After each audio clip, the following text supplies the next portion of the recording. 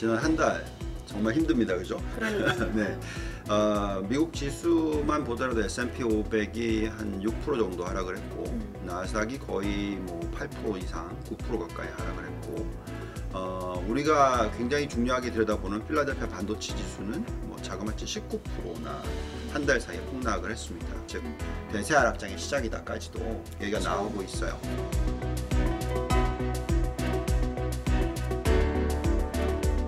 네, 월가워즈 구독자 여러분 안녕하세요. 오늘은 저희가 유동원 유안타증권 글로벌 자산 배분 본부장님 모시고 빅터뷰 시간 가지도록 하겠습니다. 본부장님 안녕하세요. 네, 안녕하십니까? 네, 어서 오세요. 네. 자, 본부장님의 미국 증시에 대한 view 업데이트를 좀 받아보도록 할 텐데 네. 일단 어제 FOMC 결과가 전해졌습니다. 음. 어, 파월의 연설이나 뭐 기자회견에서 풍겼던 이 어떤 뉘앙스가 음. 참 더비쉬하게 저는 느껴졌어요. 네, 네. 그리고 시장도 그렇게 해석을 했던 것 같고 그러면 지금 8월을 시작하는 시점에서 음. 이제 8월 한 달간 이 어떤 금리 인하 기대감에 음. 과연 강세장이 올 수 있을 것인가 이 궁금증이 지금 클 텐데 간밤의 시장 흐름을 또 보면 그 확신이 들지만은 또 않고요. 어떻게 네. 생각하세요? 네, 어, 저희가 이거를 한 달에 한 번 정도 녹화를 하죠. 네. 예, 지난 한 달 정말 힘듭니다, 그죠? 그러니까요. 네.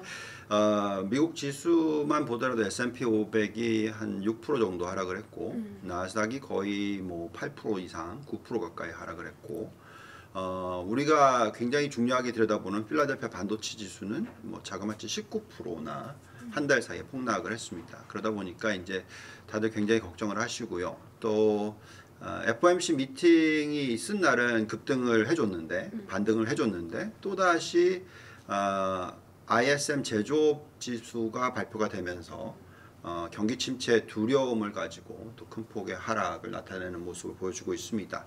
자, 그래서 음, 이런 시장에서 어, 우리가 8월이나 9월을 어떻게 들여다봐야 될지에 대해서 상당히 많은 분들께서 걱정을 하시고 의구심을 가지고 계시고 뭐 일부에서는 어떤 큰 흐름의 변화가 생길 거다. 즉 대세 하락장의 시작이다까지도 얘기가 그렇죠. 나오고 있어요.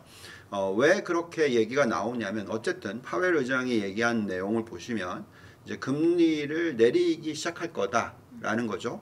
어, 9월 달에 금리를 한 차례 내려줄 확률이 굉장히 높아지고 있는 가운데서 어, 보시면은 뭐 지난 몇 년간 금리를 올리기만 했고 어, 계속해서 높은 금리를 유지시켰고 그렇죠. 어, 작년 7월에 마지막으로 금리를 올렸고 지금까지니까 뭐 거의 12개월 동안에 아무런 건드림이 없다가 이제 처음으로 9월 달에 금리를 건드릴 것 같이 얘기가 나오니까 이제 시장은 아 변화가 생긴 거 아니냐. 그러니까 어떤 변화냐면 아 경기 침체가 오는 게 아니냐.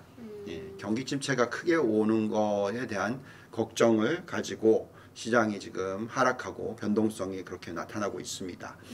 어, 그래서 이제 우리가 결론을 내려야 되는 부분은 아니면 뭐 분석을 해서 판단을 해야 되는 부분은 어, 실질적으로 금리 인하가 어, 시장에 긍정적인 작용을 해서 경기 침체가 오지 않게끔 되느냐 어, 아니면 또 어떤 시장의 변화, 경제의 구조의 변화가 있어서 경기 침체가 안 오느냐 아, 이런 것들에 대해서 분석을 해야 되는 시기입니다. 또 하나는 근데 사실 경제 성장률에 있어서 두 가지 요소인데 더 중요하고 더 많은 영향을 미치는 것이 생산성 지표입니다. 음, 자, 인건비가 올라가는 게 더디다 하더라도 한 사람당 생산하는 것이 많이 늘어나면 GDP 성장률은 국민 총생산이잖아요. 네. 예, 더 늘어납니다. 예, 그래서 경제 성장률이 크게 하락하지를 않아요. 어, 그래서 지금 저희가 생각할 때는 그 두 개를 다 같이 봐야 돼요. 그러니까 고용 시장의 흐름과 생산성 지표의 흐름. 어, 어저께 아니면 뭐 최근에 시장의 흐름은 어, 고용 시장만 보고 있어요. 어, 생산성 지표에 대해서 생각을 그렇게 뭐 음, 딥하게 뭐 하지 않는 것 같아요. 어, 또는 아닌 거에 대한 거에 대해서 더 많이 눈을 돌리고 있고 어, 초점을 맞추고 있습니다. 그게 이제 반도체 지수의 하락과 또 여러 가지 IT 기업들의 하락과 이런 것들이 원래 다 이런 기업들은 생산성을 높여주는 기업들이거든요. 네. 네, 거기에 대한 실적 중에서 안 좋은 부분을 자꾸 찾아내려고 하는 그런 모습입니다. 그래서 어, 간단하게 설명을 드리면 시장이 많이 올라서 어, 빠지거나 좀 쉬어가야 되는데 그거에 대한 빌미를 찾고 있다. 아. 예, 그래서 지금 시장이 이런 변동성이 나타나고 있다라는 거고요. 어, 사실 어, 이 이번에 다시 하락을 이끌어냈던 게 ISM 제조업 PMI 지표였거든요. 네. 어, 근데 그 제조업 PMI 지표가 계속해서 뭐 거의 1년 가까이 50 이하로 나오고 있어요. 그러니까 보통 이게 보통 확장이 아닌 경우가 50 이하거든요. 음. 그래서 긴, 아, 뭐 감소 이런 거로 자꾸 생각하게 되잖아요. 근데 GDP 성장률은 지난 1년간 어땠죠? 좋았죠. 예, 실질 GDP 성장률은 작년에 2.6% 2.5% 나왔고 올해는 뭐 거의 2.8% 2.9% 나오고 있고 3분기도 좀 떨어진다 하더라도 2.6% 수준 이렇게 지금 예측이 되고 있단 말이죠. 그러면 왜 그럴까를 생각해 봐야 되겠죠. 예, 제조 PMI 지표와 실질적인 GDP 성장률과의 연관관계가 많이 사라져 있다는 것은 그만큼 어떤 혁신이 일어나면서 AI 사이클이 들어옴으로 인해서 생산성이 높아지고 있는 것이 시장에 영향을 미치고 있다라고 생각을 합니다.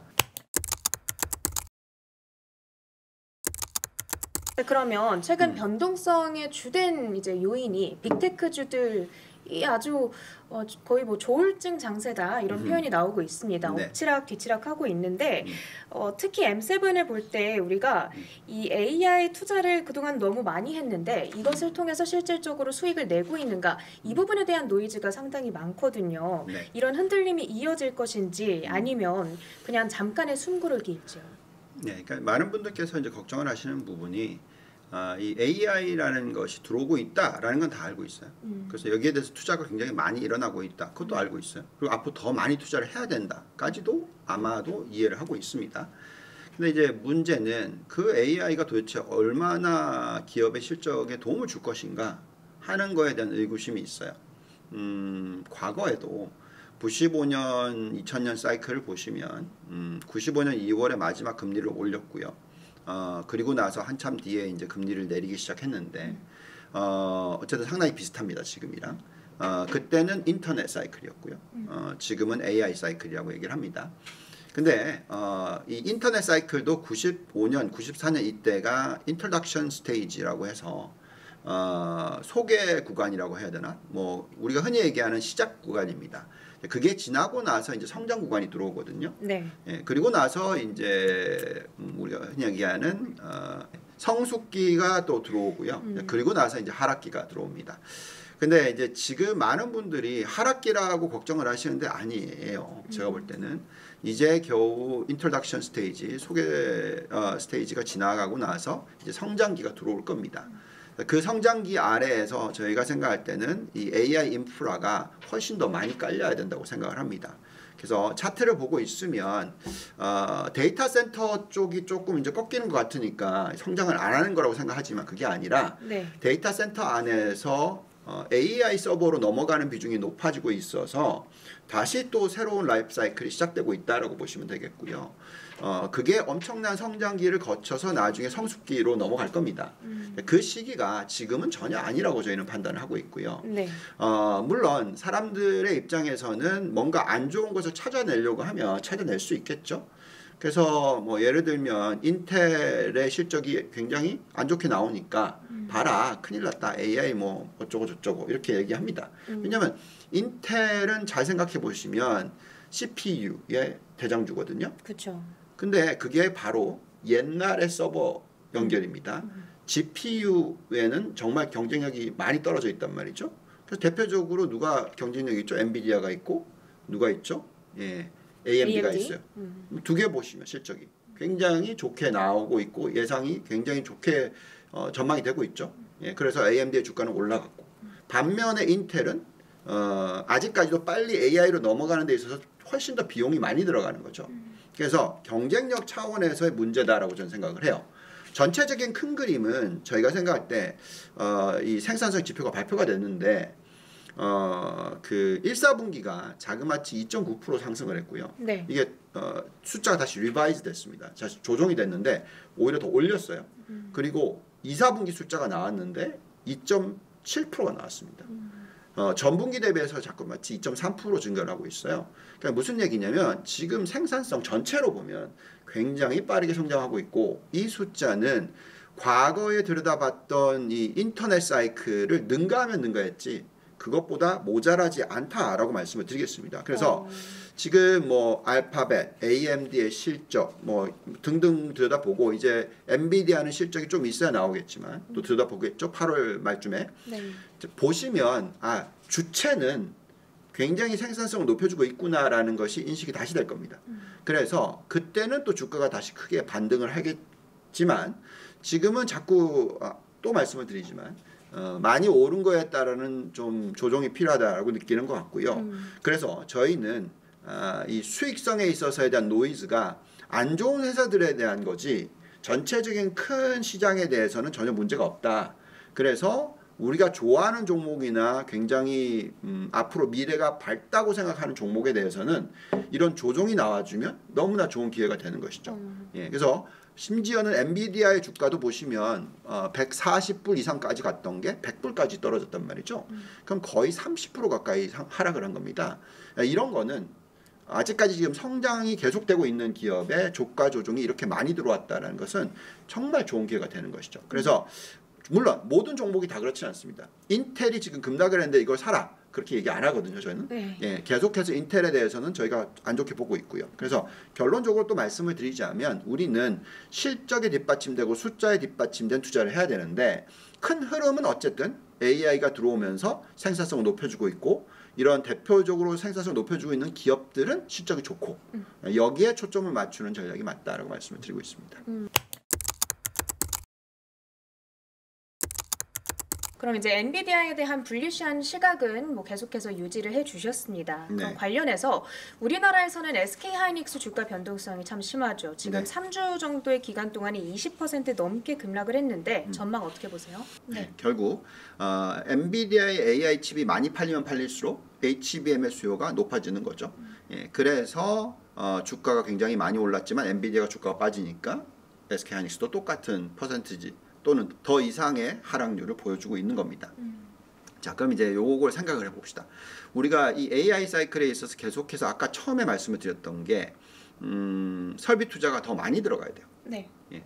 그래서 데이터 센터 중에 AI 서버가 훨씬 더 많이 커져야 됩니다. 어, 그렇다면은 당연히 AI 관련된 칩의 수요가 많이 늘겠죠. 물론 그게 음, 엔비디아 게 아니라 다른 거라고 하더라도 그렇지만 여기에 관련해서 상당히 필요한 어, 이 칩이 어, 또는 반도체가 HBM이란 말이죠. 그래서 그걸 뭐 다른 걸로 확 바꾼다. 그게 쉽지 않아요.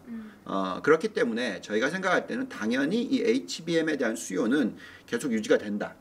근데 언제 그러면 SK 하이닉스나 뭐 삼성전자도 이제 납품을 한다고 하니까 어, 또는 뭐 마이크론에 대해서 완전히 시각을 바꿔야 되냐? 지금 같이 이런 하락이 났는데 빨리 던져야 되냐?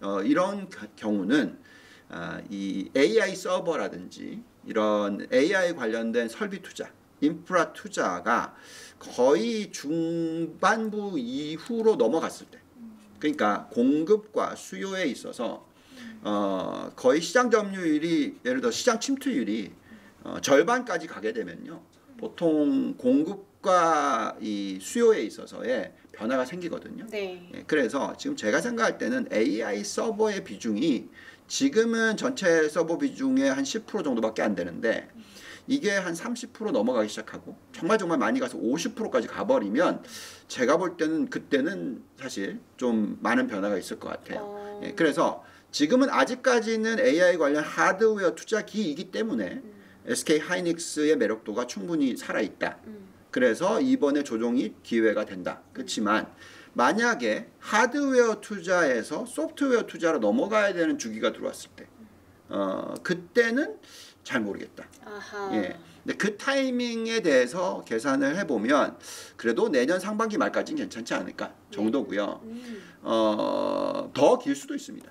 네, 그거는 두고 봐야 될 것 같고요. 네. 어쨌든 지금 현재 시점에서는 AI 사이클에서 하드웨어 투자가 여전히 공격적으로 일어나는 구간이기 때문에 이때는 여전히 SK 하이닉스도 HBM을 가지고 있기 때문에 거기에 시장 점유율이 워낙 엔비디아 관련해서 높기 때문에 어, 수혜를 계속 받을 것이다. 음. 예, 그래서 지금은 어, 종목 변동성이 크다 하더라도 기회가 될 수 있다라고 생각을 하고 있습니다.